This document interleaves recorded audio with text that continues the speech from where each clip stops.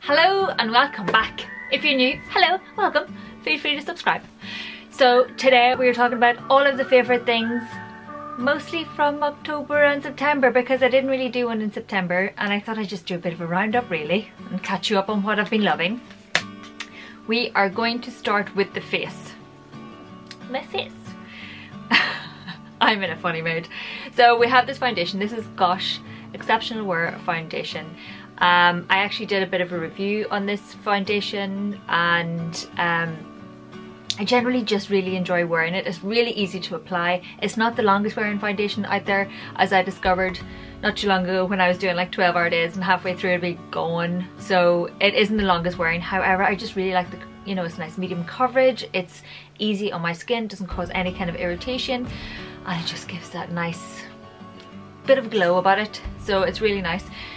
I will link the um, review on screen so you can go and check it out for yourself and you can see it applied and everything. But yeah, and it's a good shade match. It's 11 Porcelain and I am pretty goddamn pale. So this is good. Winner. Uh, while we're also on the face, we shall do this. This is the Makeup Revolution Highlight Palette. And I am a big fan of this palette. Uh, I have been using it every time I've applied my makeup I've put on this the essential one today. I've actually done a wee bit of a tutorial on the look that I'm wearing today so you can check that out. If it's not up it will be up. Link somewhere. Um, or you can just check out one of the most recent videos. So yes really enjoy this palette. I like the selection and I have been doing a fair about, uh, bit of tripping about and I have more tripping about to do over the next few months. So I want something I can just put in my bag and cover all my bases for my highlighting needs and this most definitely does. We've got this nice lavendery colour, I've got a more of a peachy toned and then you've just got this iridescent colour. It's perfect. It's just really, really good and it's a nice amount of highlight. I tend to apply, depending on when I'm engaging my brain, but I like to apply my highlight underneath my blush because I have large pores so if I do highlight then blush, it just doesn't accentuate the pores quite so much um, while still giving a nice ding, which is, you know, what a girl needs. Um, yeah, really, really like it. And it's an absolute bargain. I mean, seriously. So go check it out if you haven't already. It has been around, for, it has been around for quite some time. So if you haven't seen it, what rock have you been hiding under? Anyway, go check that out. Faceness. We'll go on to lips. I have a few lips and I am not actually wearing either of them today. I'm very, very sorry. But um, they have appeared on Instagram maybe a few times. It's this combination is the first one. This is Flormar waterproof lip liner in number 229 which is just a really nice pinky nude which is perfect for me because I've tried brownie nudes and unless I'm wearing the right kind of eyeshadow it just does not work. Uh, I have to be really careful with it but this works pretty well and it is one I can get away with with other you know with multiple lipsticks so I really like this. You don't always have to wear a lip liner, but I like them. And I've been combining it with this L'Oreal uh, lip gloss in Protest Queen. And as you can see, it's much more of a taupey, nude, creamy colour. It is a pinky, taupey shade. And they just work really, really nice together for that sort of glossy day look. The more we're going into winter, most people start to do dressing. I'm starting to add even more highlight and glossiness. I'm doing this back to front, people. Anyway, where would you will. I really, really enjoy that, uh, really, really enjoy that combination. Next we have this, I believe, is from Jordana. Everything has rubbed off. I'm not entirely sure. It's very similar to the Revlon lip butters, so I think it's the Jordana one I have. I really like this. I've had this for donkeys and I keep coming back to it and at the minute it's perfect because the weather has got really chilly. My lips are chapped to pieces for some reason. Um, so it's nice to have sort of cool tone, pinky, nudie shade that I can pop on and I like this with just a bit of eyeliner, a bit of mascara and pop this on if I want for minimal makeup. Just does a really good job of keeping my lips hydrated and I can easily reapply it without worrying it's going to be all over my face and that kind of jazz. These lip pencils are like the jumbo pencils. They come back round and they're very very handy to have so really really enjoying that. Another lip product that I've been really enjoying is the Revlon, I think it's the Just Kissable Balm Stains. Do you remember these? They're still out there but it's just quite amusing. This one is in honey and and this is just another really nice sort of everyday nude it's kind of more warm toned so it works really well really really like this it's another nice and creamy sort of balm that you can wear every day and you don't have to worry that you're gonna make a mess of your face again. So yes, really, really enjoy this one. Recommend checking it out if you haven't already. Definitely do. While we're on lips, my lips, like I said, they were gone to pot completely, so I went rummaging and I discovered this Dr. Lipp Original Nipple Balm for lips. And this is one of these lip balms that has lanolin in it, so it has, you know, it's quite a thick, waxy kind of balm. But it has been doing a really good job of hydrating my lips. They're almost back to normal. I need to use more lip scrub to get rid of the last of dead skin. But pop this on at night I can kind of still feel it in the morning so it has got that protective layer that almost seals your lip a night time and really does do a really good job of hydrating and it's just very handy and I've got like a miniature version.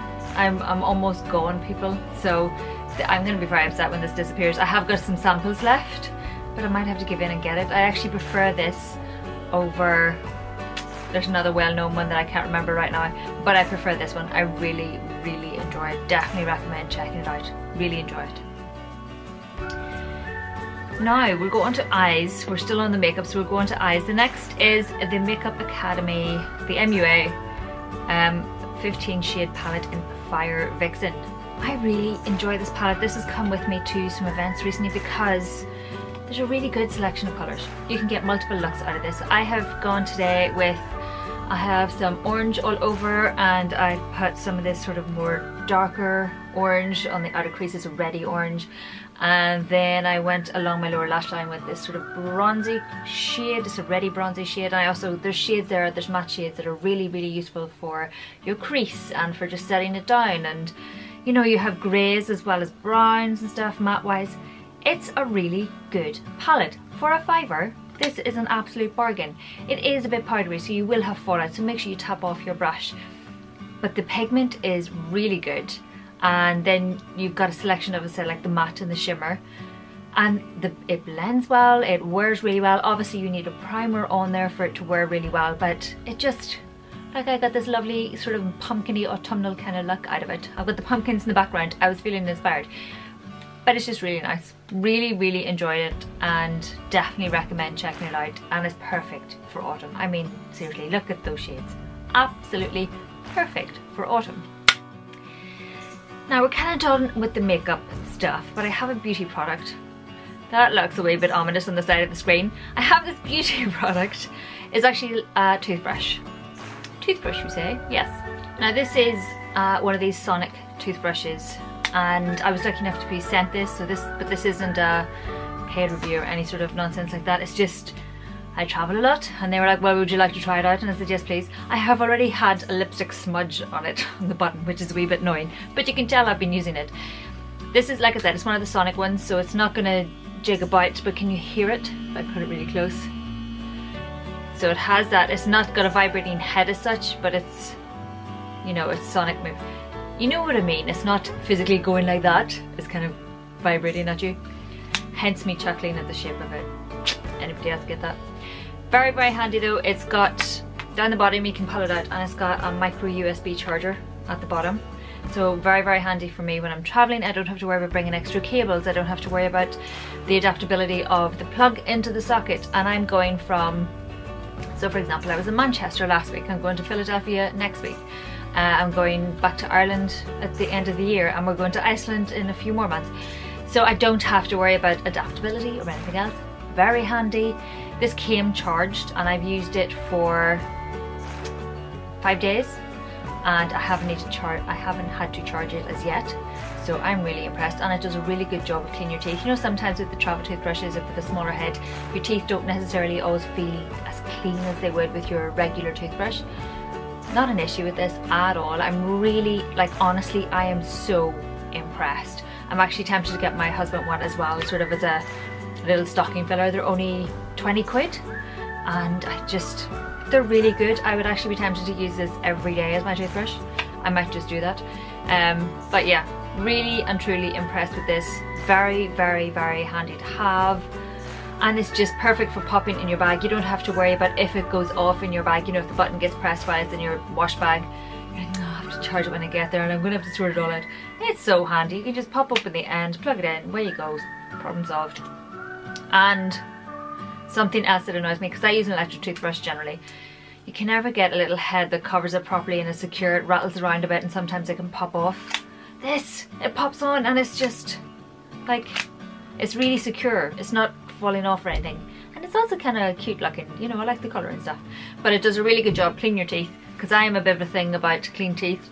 I drink a lot of black tea and black coffee and everything else so I'm always worried about my teeth becoming stained again. I did have them bleached a while ago before the wedding, so that's a couple of years ago. So I'm trying to hold on to it as much as possible. I'm a funny feeling I'm going to have to do them again soon, but for now, all the toothbrushes, all the good electric toothbrushes and sonic toothbrushes. Win!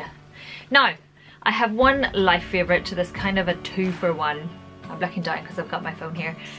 Um, it's actually uh, headphones, excuse me. These are JVC headphones. They're Bluetooth headphones and they're nice and small and they fit on my ears really, really well. These aren't particularly expensive. I got them a wee while ago and they're the best thing ever because with my phone, I have a lot of audiobooks on my phone, as you do, and podcasts and everything else.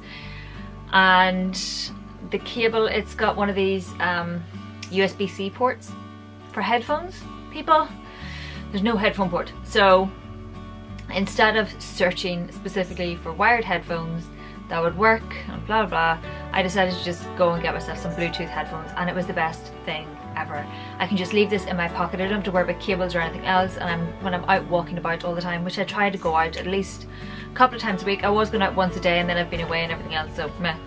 But when I'm traveling, when I'm on the train, when I'm doing anything, I don't have to worry with my cable getting caught. There's nothing more annoying really. The amount of times you zip up your coat and then your cable's inside your coat and you go to move your head and you pull an ear out trying to sort yourself. Not the way forward. So these have been an absolute godsend. They're not the cheapest, they're not the most expensive, the sound is pretty good, I would like a bit more bass to it and I wish there were noise cancelling. That's the one thing I wish I had actually held out and got some noise cancelling ones. These aren't noise cancelling so, but very very handy and just as a twofer, excuse me, my favourite book um, in the last month has been The Keeper of Lost Things by Ruth Hogan and I finished this. It's really good. It's really, really well written. It flows so nicely. The stories that interweave throughout are just so very well done. It doesn't feel any kind of jarring because there are different stories throughout. There's no jarring, it's just, it feels like it all just fits together so very well and you become really involved in the characters' lives. They very much come to life. I love writers that can write life well. It's not that they're specifically focusing on romance or you know, and danger and all this, uh, you know, if they can write about life really well, I'm always impressed. And the likes of Maeve Binchy, for example, yes, there's a fair amount of romance and things, but it's more about life and the relationships you have in life and that kind of stuff. I just always enjoy them. I enjoy a good writer like that. So really enjoyed that audiobook. Definitely recommend checking it out. It's just such a nice listen and I was a bit bereft when it was over. I was like, no, tempted to listen to it again, just in case. So really, really enjoyed it. But that's it for this month's favourites. I guess plural months there. If you have any questions about anything, let me know. And if the tutorial for my eye look and sort of makeup isn't up yet, it will be very soon. You can keep your eyes open for that. So I'm just cleaning my hand as I talk to you. That's a bit rude, isn't it? Um, thanks a million for everything and thanks for all the feedback I'm getting from the vlogs and everything else. It's really nice. I've started posting them again and sort of just enjoying being on YouTube again and not being stressed about I have to do X, Y and Z and I have to look like this and no. I've kind of just gone back to enjoying playing with YouTube. So thank you for all the positive feedback and for all of you new lovely people that have come along. Welcome. Hello, how are you? Leave your name and say hi down below. Maybe don't leave your name, but you can say hi down below, that'd be really good. Anyway, I told you I was in a funny mood. I'm gonna shoot away on. Thanks a million for watching. Please like, please subscribe, please tell all of your friends and share this stuff and I will see you in the next video. Bye!